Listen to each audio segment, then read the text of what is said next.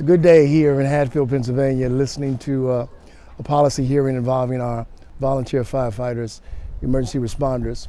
Uh, particularly as a member of the Veteran Affairs Committee, it was good to be listening to some of the issues that confront them around recruitment, retention.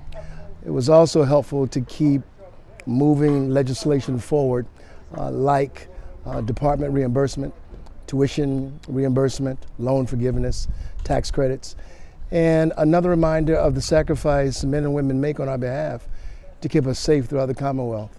So today was a good day, and uh, the hope is that we continue to do more men and women who sacrifice in this way.